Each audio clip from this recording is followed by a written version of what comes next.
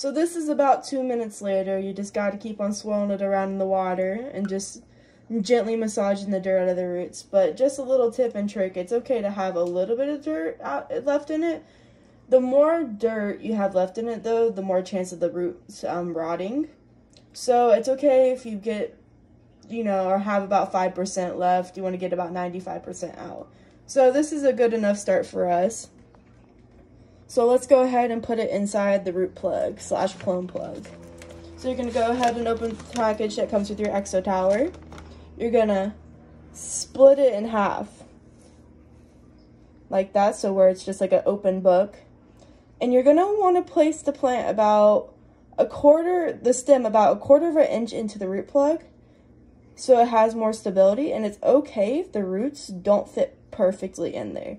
And it's okay if your plug also splits in half. As long as it's encompassed, your roots are encompassed in the plug, you're all good. So we're going to want to grab a net cup that also comes with the Exo Tower kit. You're going to go ahead and put the plant inside of that. And you're going to want to pinch it. So give it some, have some tension on the plant. Because if you just let it go, it's going to be all wobbly around. And this is when you want to add in your hydroclay.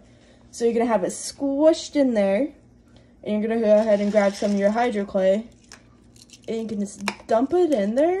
But also you want to shove it down because like I said you want to keep tension between the plants so it has stability. Push it down like that and bam there you go. You have a plant that fits perfectly inside your exo tower. And after a while you'll see how the roots start coming out of the plug. It will get a lot more stable.